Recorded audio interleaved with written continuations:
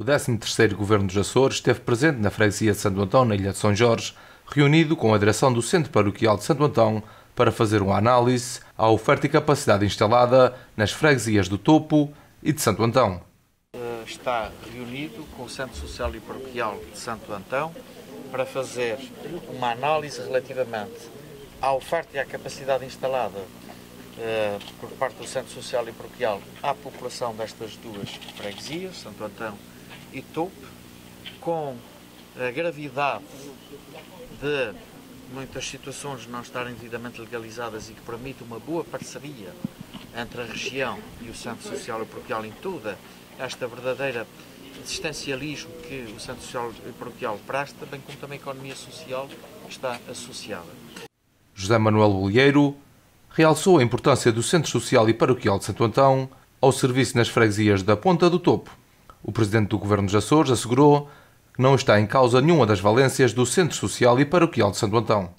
Imediatamente também o registro de que a prestação e o apoio que asseguram é essencial para a consideração e a dignidade destas populações, que no contexto, aliás, da orografia da Ilha de São Jorge e da sua distância para com os santos, é fundamental que aqui esteja. E é esta a sensibilidade com que o Governo já tem trabalhado e mantido um relacionamento com o Centro Social e Paroquial. A política de desenvolvimento social que este Governo um, tem para assumir enquadra-se na vice-presidência do Governo e, por isso, uma parte significativa dos contatos já têm sido estabelecidos.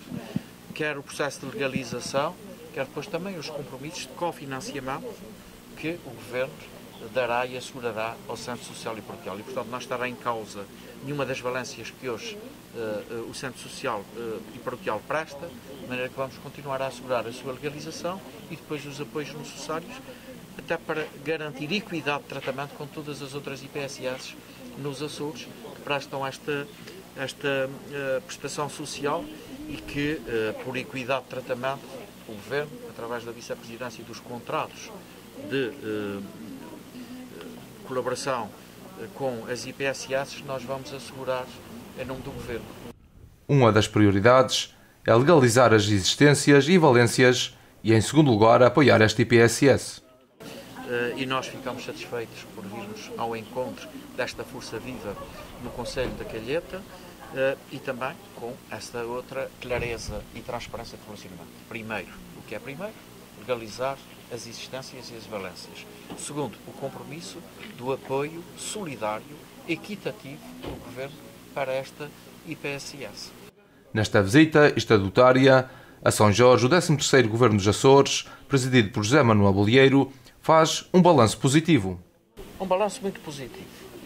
E não é só uh, uma consideração pela disponibilidade com que o Governo se apresentou e confirmou para uh, promover realizações uh, de ambições uh, antigas de, dos jorgenses. A minha congratulação também pelo facto de, na relação com o poder local e com as diferentes instituições e o próprio Conselho de Ilha, ter registado um entendimento muito sintomático. Há consenso alargado quanto às prioridades e quanto às soluções.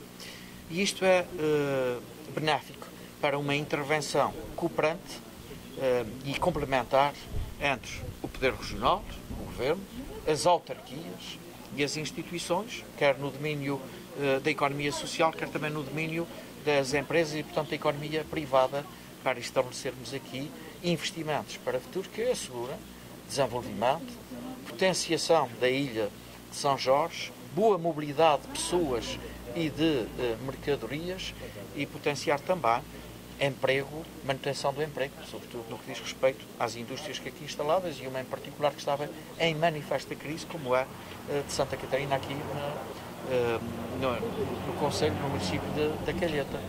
Por fim, o Presidente do Governo dos Açores realça que este Governo não promete tudo para não fazer nada e não pretende criar falsas expectativas aos urgentes.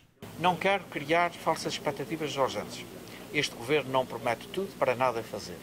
Nós assumimos compromissos de prioridade para eh, assegurar em progresso exatamente o evoluir destas uh, situações, aquelas que são difíceis e que perduram há décadas e que nós vamos ter agora solução para algumas delas, mas que não vão realizar-se num ato único, vão realizar-se em progresso e de forma plurianual.